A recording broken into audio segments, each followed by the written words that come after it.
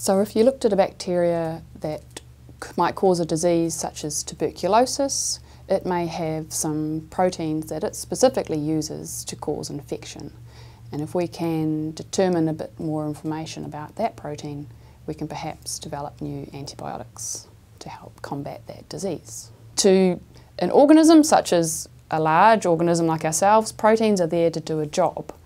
So they can form all sorts of structures like the skin, the hair, or they can be there as little um, machines that run around your body doing a specific task. So in bacteria, it's similar. Proteins inside a bacterial cell are there to do a specific task. If you can um, use techniques so that you can actually form a picture of what this protein looks like, like so if you can know what its structure looks like, its, um, its makeup, its shape, its dimensions, then you might also know a little bit more about how it does its job.